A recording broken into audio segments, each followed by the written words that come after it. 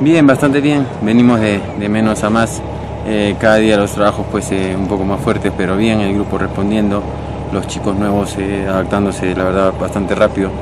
Eh, bien, los trabajos la verdad que, que bastante bien. Pues. ¿Cómo afrontar este torneo de Copa Libertadores? Un torneo que quizás Melgar no, no se le presentaba hace mucho tiempo, ¿no? Eh, sí, la verdad que va a ser un torneo duro. El grupo que nos ha tocado es un, un grupo duro. Eh, hay dos favoritos como Mineiro y Colo Colo. Eh, así es que intentaremos nosotros hacer un buen trabajo en la pretemporada, un buen trabajo físico que nos permita pues eh, competir por, por tentar pues la posibilidad de, de pasar. ¿no? Igual nosotros sabemos que, que en la cancha pues la, la situación puede ser otra. ¿no? Se fueron jugadores importantes en la obtención del título 2015, pero han llegado también jugadores que resaltaron en el último torneo, a, a esta, a este Melgar versión 2016. Sí, han llegado chicos nuevos, eh, chicos extranjeros, han llegado chicos del torneo local también.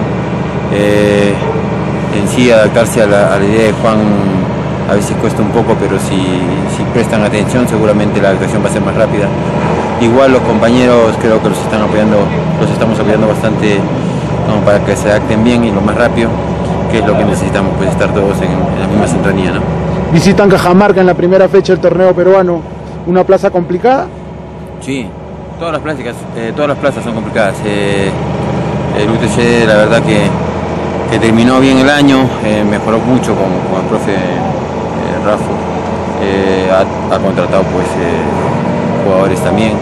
La cancha es una cancha complicada, pero en sí va a ser un partido duro, bonito. Vamos a empezar el año jugando visita, así es que esperemos que nos vaya bien. ¿no? El saludo para el Chocherita, Álvaro Chimbó, que siempre pues está en contacto contigo y deseando también lo mejor para Melgar. Nada, mandar un saludo a Lalo, a todos ustedes, a todo el programa, eh, desearles lo mejor, que tengan un gran año y nada, esperar pues que, que las cosas del fútbol peruano vayan mejorando poco a poco eh, y que la selección pues nos pueda dar alegrías eh, todo este año. ¿no? Gracias, Israel. Gracias.